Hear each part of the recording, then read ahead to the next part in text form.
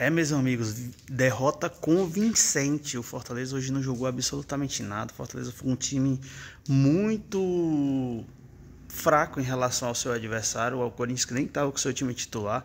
Fortaleza já com seu time titular. Mas hoje foi bem lamentável a proposta do Fortaleza é, dentro de campo. Fortaleza começou até ali é, melhor no jogo, conseguiu controlar suas ações, mas não conseguiu agredir. Não teve nenhum momento que a gente disse assim, pô, agora tá perto, o gol tá amadurecendo. Isso não aconteceu, vamos falar a verdade. Fortaleza não conseguiu se impor fisicamente, não se não conseguiu se impor tecnicamente e o Corinthians acha um golaço de fora da área, mérito total do Coronado, que vai lá, marca, faz o chutaço, faz o gol, não dava pro João Ricardo. Fortaleza desorganizado ali no meio de campo uma saída errada do Sacha ali, meio que marca, os dois marcando o Thales Magno, tanto o Kusevich como o, o Sacha e o Fortaleza tomam o gol e nunca mais voltou para a partida. A realidade é essa. O Voivoda vai pro pro entretempo, pensei que ele voltaria com mudanças, o Luceiro não estava mais uma vez bem na partida, o Pochettino já estava dando sinais de desgaste, o Pikachu não tocou na bola no jogo quase inteiro, e o Voivoda voltou com o mesmo time, assim, acho que o único que estava jogando bem no meio de campo do Fortaleza era o próprio Hércules pois o Sacha também estava correndo para um lado e para o outro, mas não era essa situação.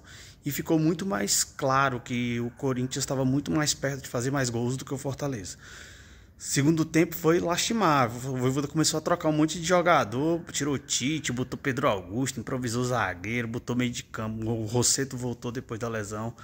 Nada, nada, nada, nada, nada foi feito, nada realizado com jogadores que entraram. Então, assim, eu, que eu saio desse jogo é assustado com o físico do Fortaleza. O Corinthians superior fisicamente, tecnicamente. O Corinthians chegou várias vezes, perdeu. O Talismã perdeu dois ou três gols de frente pro João Ricardo. O João Ricardo fez duas, três defesas. Assim, o Corinthians foi contundente dentro da Arena Castelão.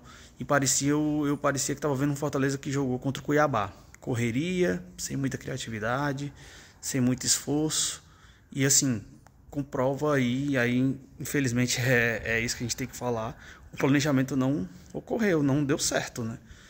Guardar os jogadores, jogar contra o, o Inter não venceu, teve a questão da arbitragem, jogou contra o Atlético Paranaense, não conseguiu fazer é, a vitória, e lá é muito difícil, o empate foi, de certa forma, é, é bom, e vai para Ana Castelão com 46 mil pessoas no estádio, e não consegue se impor o Corinthians. O Corinthians realmente mereceu ser vencedor. Tarefa muito difícil para Fortaleza agora na Sul-Americana. Acho que agora a gente, é, lógico, vai ter que vir terça-feira aqui para São Paulo, tentar fazer o melhor possível, tirar dois gols dentro da Neoquímica Arena. É possível, o Bragantino conseguiu virar o resultado e foi para os pênaltis. Agora é se agarrar com isso. Mas, prioridade, certeza, sair desse marasmo sair da, da sequência de derrotas, Fortaleza engata uma derrota para o Botafogo, uma derrota para o Internacional, um empate contra o Atlético, perde para o Corinthians, quatro jogos sem vencer, perde visibilidade na Castelão, assim, preocupante, preocupante o momento, preocupante essa oscilação. Fortaleza tem que voltar a acordar, Fortaleza tem que voltar a jogar bola. E e todos esses jogos teve uma, um grande motivo. Criação quase que zero. Fortaleza não criou. Para nem dar oportunidade do Cais e do Luceiro chutarem no gol quando eles jogaram. Então, assim, reinventar-se. Chegou o momento. Reinventar. Quem é titular já pode ser questionado. Quem não está jogando pode ir para o banco. Muda tudo de novo. O Voivoda craque nisso. Confio muito no trabalho do treinador mas hoje eu não gostei das alterações, não gostei do, do time inteiro dentro de campo. E chegou uma hora de mudar a chave. Tem muita coisa para conquistar ainda. Não pode cair naquela de que ah, saiu de 2 a 0, não vamos passar, a Sul-Americana acabou. Beleza, se acabou, tem Campeonato Brasileiro. Foco tem que ser irrestrito para o Campeonato Brasileiro e vamos fazer um jogo sul-americano ainda. O Fortaleza tem possibilidades. Consegue, é muito difícil, nunca venceu em Neoquímica Arena. O Corinthians quebrou um tabu de Fortaleza e o Fortaleza vai tentar quebrar esse tabu em Neoquímica Arena. Agora, bem complicado, mas eu estarei lá na Neoquímica Arena apoiando, vendo o Fortaleza jogar, tentando alguma coisa, mas tem muita coisa para se arrumar. O Evodo vai precisar sentar com essa galera e dizer, gente, que está acontecendo. A oscilação tem que parar por aqui. O jogo do Bahia é muito importante e vai ficar muito é, muita pressão para esse jogo do Bahia. E é assim que vai acontecer. Não tem muito o que correr. Amanhã a gente senta, faz em live, conversa sobre tudo, destaca positivo, negativo. É isso que a gente vai fazer.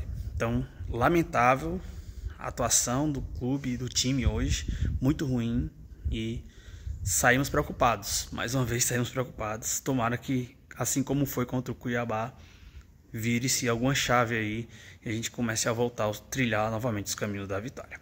Tá bom? É isso. Noite triste. Noite de Copa, noite triste. Perdemos de 2 a 0 em casa. Primeira vez que Fortaleza perde na Sul-Americana. E perdeu convincentemente. Foi, o Corinthians foi melhor, muito melhor que o Fortaleza. Em tudo, tecnicamente, psicologicamente. Um time que joga muito tocando bem, o Fortaleza não tocando bem. Amanhã a gente analisa. Vamos dormir que a cabeça tá cheia hoje, tá bom? Grande abraço. Deixa o like, não pela, pelo resultado, mas pelo trabalho que a gente tenta fazer aqui no Razão Tricolor. Grande abraço. Amanhã a gente tá junto. Tchau.